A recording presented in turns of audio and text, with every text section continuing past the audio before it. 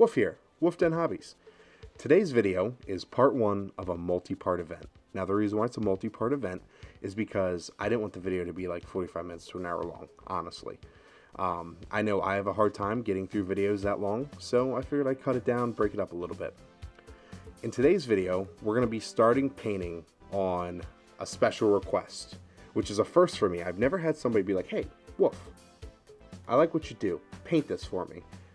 You know, usually I paint things and give them away. Like, hey, look, I painted this. This looks cool. Do you like it? Yeah, okay, here, have it. But I was presented with this little gem. This is a resin cast Stan Lee stat statue? Yeah, we'll say statue. Now, the person ordered this online and it got shipped to them and everything. This this thing came with its own set of challenges. But even though it had its own set of challenges, I was able to explore and experiment and try new things, which helped me grow in the process, which was phenomenal. Now, Stan Lee, I know I've probably said this before, Stan Lee has a very special place in my heart. I actually got to meet him once on a crosswalk over a highway. And his bodyguards almost beat me up, which was fantastic. I mean, I wasn't one of those groupies like, "Oh my God, Stan Lee!" Ah. I was just like, "Hey, look, it's Stan Lee. How you doing?" And they're like, "Whoa, you need to back up." And I'm like, "Oh, okay." Anyway, so I digress. So, Stan Lee has a lot of interviews where he speaks about things that hold true to really anything and everything which is phenomenal. And I think, you know, a lot of people should listen to some of the stuff he has to say, especially when it comes to being creative. Now, I'm going to show you a clip in a few minutes that's kind of explaining what I mean here.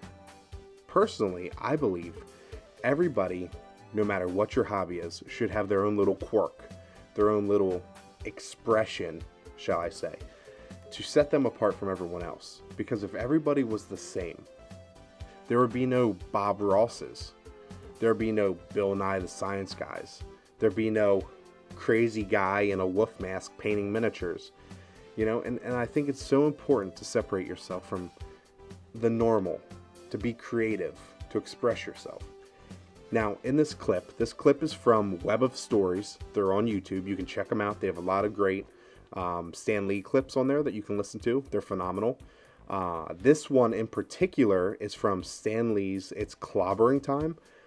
And basically, he's talking about expressions and how he came up with Excelsior. Now, I'm not playing the whole video, I'm just cutting it and I'm playing a small section of that video.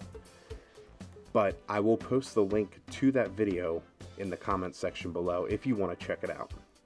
So, let's go ahead, watch this quick clip, and then we're going to hop in and do a little bit of painting.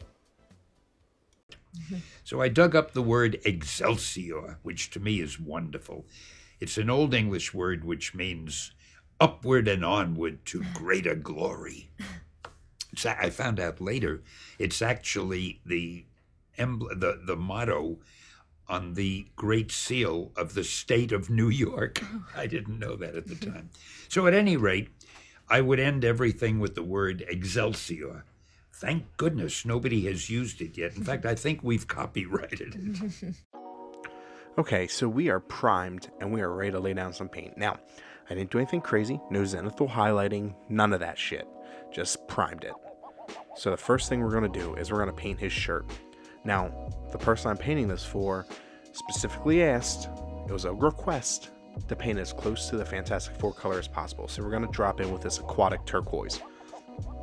This aquatic turquoise, out of all the blues in my arsenal, which I, I have a lot of blues in my arsenal for some reason, is my favorite. I love this color. We're going to do a few test sprays on our construction paper, make sure it's good to go, and then we're just going to go to town on his shirt. Just spray it all over. We're going to make sure we have good coverage, and we're going to make sure we get it covered everywhere, which I guess that's technically the same thing. But anyway, I did mask off his face, his pants, and all that, the gauntlet, because I didn't want the overspray getting on there. A lot of times when I'm base coating something um, with the airbrush, I tend to get a little crazy. It ends up on my hands, it ends up on the model, it ends up on the paper. Who knows? It ends up everywhere, and it's it gets a little out of hand. So we taped it off just to be safe. Okay, so the shirt's looking super nice. Now off camera, I did put in a little bit of dark blue shadows in the creases just to kind of give it a little bit of depth. I didn't do too much, but just just a little bit goes a long way sometimes, which I'll contradict myself in a minute. Now we're gonna come in with some light brown. We're gonna put that light brown on our palette. We're gonna come in with some thinner medium and a little bit of retarder. Now you're probably like, Wolf, what are you doing? That's weird. But see, I'm experimenting and I'm trying some new things. And I wanted to paint his pants super thin and super wet. And the reason why I'm saying that, and that sounds super weird, but if I got any on the shirt, I would have been super pissed. So, with it being, you know, thin down and with some retarder in there, if I got it on the shirt, I could clean it up easier. That was kind of my thinking behind that. But this all took about three coats to get where I wanted it to. And I'm pretty happy with it. Those are some nice khakis. Like he's looking fresh, straight out of Target fresh. Like you won't find these type of khakis at no Walmart, that's for sure. Just joking. I shop at everyone shops at Walmart. There's probably nice khakis in Walmart. Anyway, we're gonna come back in with this light brown. We're gonna put it in the pot, and then we're gonna mix in a little bit of this earth. Now, for this part, I was to go in and paint some shadows on his pants. I did a test spray. I thought it looked good at the time and then I brought it in and I tried spraying the creases of his pants. Come to find out, it was way too light. I mean, way too light. Like, it was not very shadow esque at all. So, I had to make some adjustments. So, we added more earth to it, and now it came out looking super muddy, which, hey, mud's a good shadow, am I right? Now, look, I'm gonna be honest with you. I didn't graduate with you know, a bachelor's degree in shadowology or a doctorate in the mystic arts of shadow painting here. It's just, you know, the only thing I know about shadows is the shadow realm from like Yu Gi Oh! I mean, it's what I got here. So we're just spay- spraying it on all the creases and everywhere I think the shadow should go, in his crotchal region, all that. I don't have like a light source here. I'm just kind of painting it to make it look good.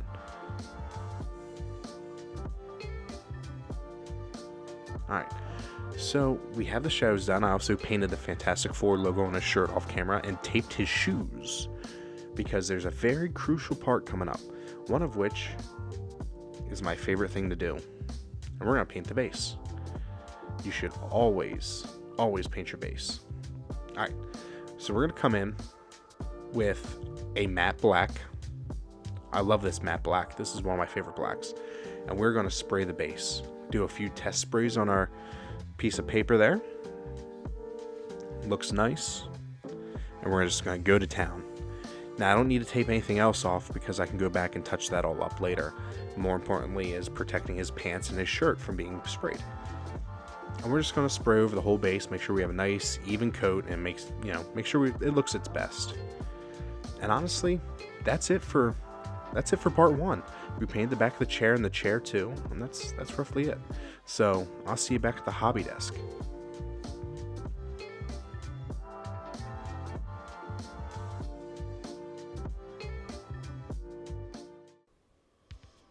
Well, that concludes part one of this multi part series.